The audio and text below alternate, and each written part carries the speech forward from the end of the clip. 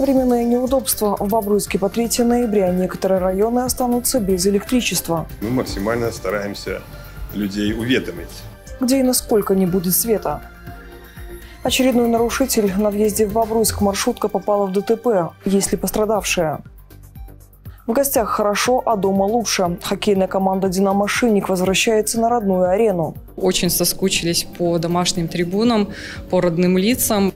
Когда начало сезона?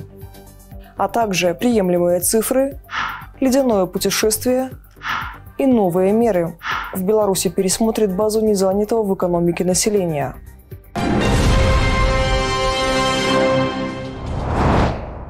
Итоги уходящего понедельника подводят наши корреспонденты и я, Мария Бересневич. Президент встретился с послом Кыргызстана – Александр Лукашенко обсудил с представителем дружественного государства актуальные вопросы. На повестке дня развитие торговых отношений между странами и совместное производство.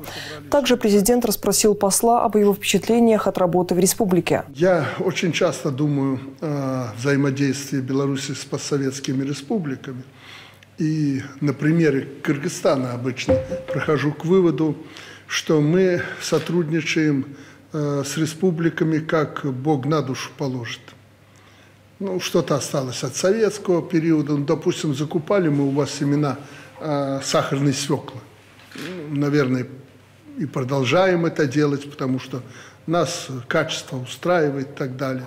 Но чтобы выработать такую постоянный, постоянный план, дорожную карту, как модно сейчас говорить, сотрудничество Беларуси с республиками бывшего Советского Союза – ну, те, которые хотят с нами сотрудничать, мы так и не подошли к этому. С другими странами, дальние дуги и так далее, мы это делаем, по отдельным странам принимаем отдельные решения, допустим, декрет президента по России, Китаю и так далее. А эти республики, ну, с одной стороны, они и так наши, мы всегда с ними наладим отношения, а с другой стороны, ведь план такой нужен. И нам в Министерстве иностранных дел надо иметь страновые планы взаимоотношений.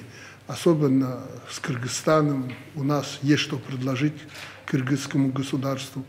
Э, у них много чего есть, что нам нужно. И такие связи у нас обязательно должны быть. Одной из главных тем разговора стал технологический опыт Беларуси для Кыргызстана. Александр Лукашенко выразил идею создания совместного производства на основе наших технологий. Очередной нарушитель на въезде в Бобруйск маршрутка попала в ДТП. В воскресенье водитель легкового такси двигался со стороны деревни Сычково. При повороте налево он не уступил дорогу междугородней маршрутки, тем самым спровоцировал столкновение. В результате аварии транспортным средством нанесены повреждения, пострадавших нет.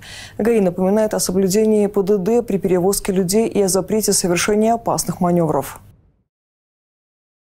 Скачок цен, демонстрация лучшего и холодная пустошь. В республике дан старт 16-й белорусской антарктической экспедиции. Когда отправление? Громкие заголовки дня далее в специальном обзоре. Беларусь повысила экспортные цены на некоторую молочную продукцию. Сливочное масло жирностью 80% будет продаваться не меньше, чем за 510 российских рублей за килограмм. Молоко, сливки, сгущенка в порошке и других твердых видах реализовывается за 295 вместо 285. Стоимость выставляется в зависимости от региона экспорта. В республике с 20 ноября по 1 декабря пересмотрят базу незанятого в экономике населения. Чтобы не пополнить список, необходимо обратиться в местные органы власти и предоставить документы о занятости. При попадании в перечень граждане-собственники жилья обязуются оплачивать отопление, газ и горячую воду по полным тарифам. За прошедшие 9 месяцев в Беларуси зарегистрировано более тысячи случаев заражения ВИЧ. Этот показатель ниже на 12%, чем за аналогичный период прошлого года. По статистике, вирус находили у людей старше 30. У мужчин заболевание выявляется чаще, чем у женщин. 83% заражено половым путем. Беларусь в начале ноября представит свою продукцию на международной выставке импорта в Шанхае. Это позволит не только закрепить дружеские отношения с Китаем, но и наладить новые деловые связи с партнерами и потребителями. Наша республика продемонстрирует достижения в автомобильной промышленности, покажет медоборудование и лекарственные препараты. В республике Донстар 16-я белорусской антарктической экспедиции. В этом году туда направится 13 человек. В команде 6 новичков и 7 опытных специалистов. Группа продолжит оборудование станции, проведет большое количество исследований и экспериментов. Ежегодно для удобства работы пополняются новые приборы и аппараты. Отправка запланирована на начало ноября, возвращение в конце мая 2024 года. Темный час в городе проводится проверка электроэнергии. Работы будут вестись с 10 до 16 часов. Во вторник, четверг и пятницу без света останутся улицы Кирова, Березинская, Халтурина. В среду плановый блокаут затронет жителей домов на Беляева, Молоковича, Тельмана и Черепичной. Что касается о том, если пропала электрическая энергия э, и в списке их нет. Ну, наиболее частый вариант – это происходит при аварийном отключении. Потому что при плановом отключении мы максимально стараемся людей уведомить для своевременного получения новостей можно подключить услугу СМС-оповещений. Для этого необходимо обратиться в сервисный расчетный центр Бобруйских тепловых сетей. Более подробная информация на сайте Могилев-Энерго. Важная профилактика. Для безопасности детей и взрослых существуют разные меры. Юному поколению разобраться в вопросах помогают как дома, так и в школе. Наглядные пособия, семинары, уроки. Один из таких накануне прошел в Глузке. Чем раньше, тем лучше. В гимназии Глузка детям проводят практическое занятие по правилам и технике безопасности. В последнее время выросло количество электротравматизма. За 4 года пострадало более 120 человек, 72 из них погибли. На фоне такой статистики созданы общеобразовательные мини-центры для регулярных познавательных уроков. Руководством филиала Могилевского значит, было принято э, разработать планы и мероприятия профилактической работы персонала э, в различных сферах. Это и сферы, э, значит, э, охранных зонах при работе сельскохозяйственной техники, это и на производстве, это и в быту, в том числе и мероприятия, которые проводятся со школьниками. Для ребят созданы все условия, чтобы с интересом и пользой получить необходимую информацию. Класс оборудован тематическими стендами, наглядными тренажерами и интерактивными играми. Есть обучающие видеоролики, брошюры, книжные закладки, раскраски. Мы рассказываем детям про электротеплобезопасность, как себя вести на улице, в быту, э, как пользоваться электроприборами, чтобы электричество э, приносило им только пользу.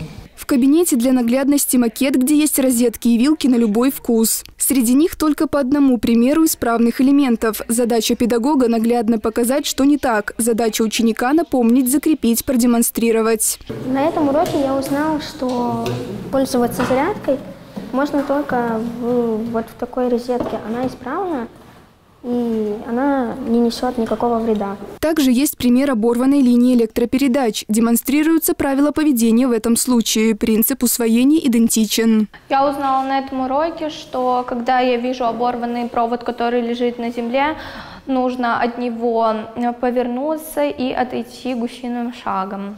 Хоть занятия проходят регулярно, молодым умам нетрудно отпечатать полученные знания и навыки с первого раза, однако повторение – мать учения. Нельзя использовать электроприборы в ванной, что нельзя оставлять электроприборы включенными без присмотра. Филиал в Глузке проводит такие мероприятия не только для гимназистов. Кабинет открыт и для школьников с района. Госэнергогазнадзор призывает взрослых напоминать детям об элементарных правилах безопасности и помнить, личный пример – лучший урок. Елизавета Липеева, Никита Александров, Дмитрий Шевцов, Бобруйск, 360.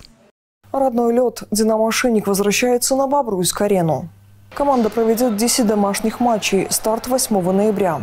Череда игр откроется поединками с «Золотым дивизионом», «Красной армией», «Спартаком», «Локомотивом» и «Алмазом». Сейчас «Динамо Шинник» завершает выездную серию соревнований с МХЛ и с нетерпением ожидает возвращения на свой лед. Наши ребята, наши парни неоднократно отмечали, что очень соскучились по домашним трибунам, по родным лицам, поэтому очень ждут поддержки на трибунах. Мы очень ждем что наши болельщики соскучились по хорошему хоккею и по нашей команде.